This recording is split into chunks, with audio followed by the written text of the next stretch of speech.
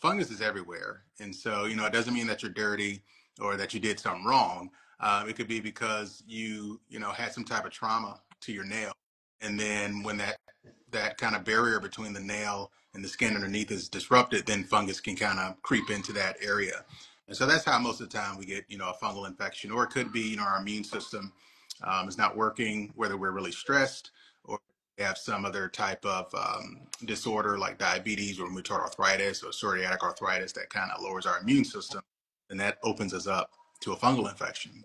And so once you notice that, you know, your nails are discolored, you know, they may be crumbly, um, they may have ridges in them and various uh, mm-hmm. things.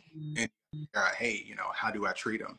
And so, what a lot of people do, they will go to CVS or any other drugstore, Walgreens, and they pick up topical antifungals because that's what's available over the counter. Right. Um, I tell people that if your nails aren't that involved, if there's just like a little bit of yellow and it's not that thick, then topicals can actually work okay.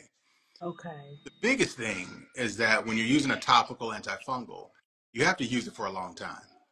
You can't like and then think that, that is going to work. Mm-hmm. One and done. Not going to happen. You, you got most antifungals. You got to use, you know, at least like six months to know difference. And that's why a lot of times we think they don't work. It's just because people stop using.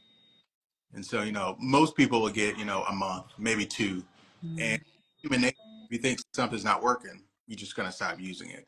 And so the big thing is being persistent when you're using topical antifungals. Um, and if you have a minor infection, maybe one or two nails involved, a topical antifungal may be able to work.